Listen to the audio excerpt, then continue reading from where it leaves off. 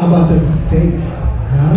How about them steaks? That stuff was good, man. Give it up for the people that made the food. Woo! Yeah. Some yummy in my tummy.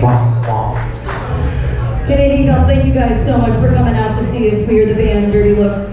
We're excited to be here for 80s night. Woo! Excited to see so many people dressed up. It's okay if you're not dressed up. It's all good. It's all in spirit. Right, isn't there like money being given away? There is some money being given away.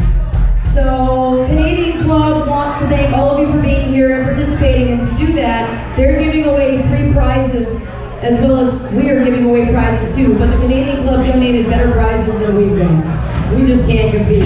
So for first prize, we're doing a hundred dollars to the top 80s dressed person tonight.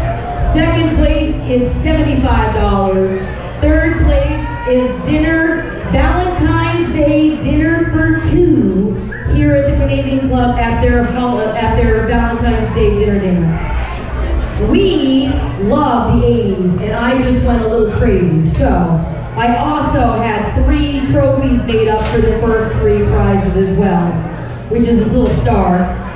So we got three trophies to go with the with the prizes. I also really couldn't stop and contain myself and decided to do 16 door prizes as well. So right before dinner, they went around and they put little tickets on everybody's place setting. So I hope you kept those little tickets. Because we're going to be doing a drawing of eight between our first break and another eight at our second break. And then at 10 o'clock, we're going to do the drawing for the best dress. So if, if you guys are ready to dance, we're ready to party. If you see people here that you think should be here and don't want to wear 80s, get on your phones. We can get some more tables going. We can have them come on in. It's more than just the dinner.